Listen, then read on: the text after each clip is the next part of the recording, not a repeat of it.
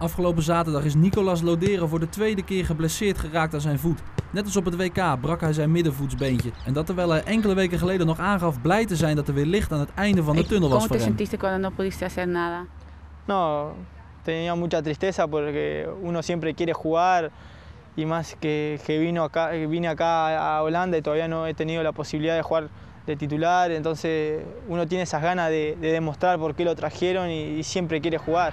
Entonces yo sabía que iba a arrancar un campeonato nuevo, que iba a tener más posibilidades de, pelear un lugar y bueno, me encuentro con esta lesión mucho tiempo y realmente entristece a uno, pero bueno, uno no tiene que bajar nunca los brazos, seguir entrenando y bueno, tratar de, de demostrarle al técnico que, que quiero jugar y sobre todo a la gente de acá de, de Laya que, que me brinda su apoyo, demostrarle que tengo muchas ganas de jugar acá.